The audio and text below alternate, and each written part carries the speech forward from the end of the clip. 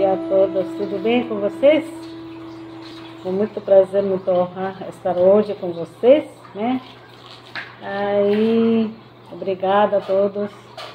É, bom, desde 2019 eu conheço, quando abriu a escola, essa. Aí, conheço a Margarete um pouco antes. Eu agradeço profundamente a Margarete Mota por seu carinho, amor, né?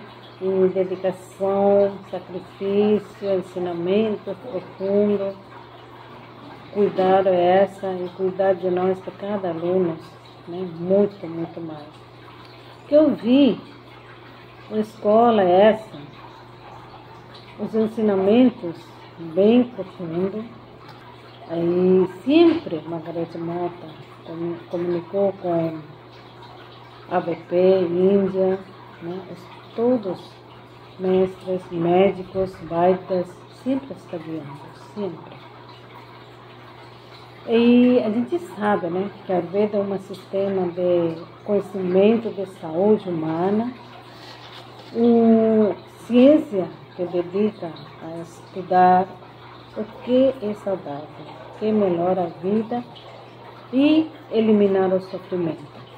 E sabe, quando a medicina alopática tende a se concentrar em doença, a Ayurveda nos dá conhecimento de como prevenir doença e como eliminar a causa raiz da doença. A Ayurveda é fruto de um esforço coletivo de observação incansável da realidade. Os seres humanos precisam equilibrar em três níveis: físico, mental e espiritual. A Ayurveda medicina, o sistema milenário científico, né? ela ajuda a manter equilíbrio em três níveis. E na Ayurveda a gente fala também Vata Pitta Kapha, né? constituição física, pontos fracos, pontos fortes, e pode ajudar pela várias maneiras, né? massagem, remédio natural, mudra, a meditação, Daiva Shakti, astrologia, yoga, em várias maneiras. Pode ajudar para acalmar né? e manter uma vida saudável. Só precisa seguir e ganhar autoconfiança e cuidar mesmo e os outros. Assim vai equilibrar os três níveis da nossa existência. Né? Aí eu acho no Brasil tem tudo de curso todo esforço, seres humanos, também muito bons aqui, amigos.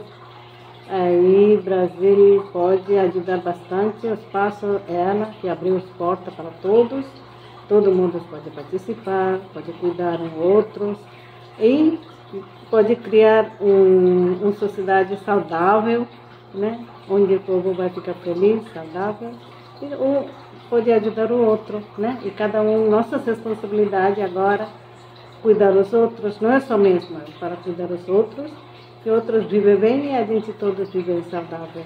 E poder criar uma sociedade saudável, em bem harmonia em paz. Tá? Com essas palavras, eu agradeço a todos vocês e fico obrigada.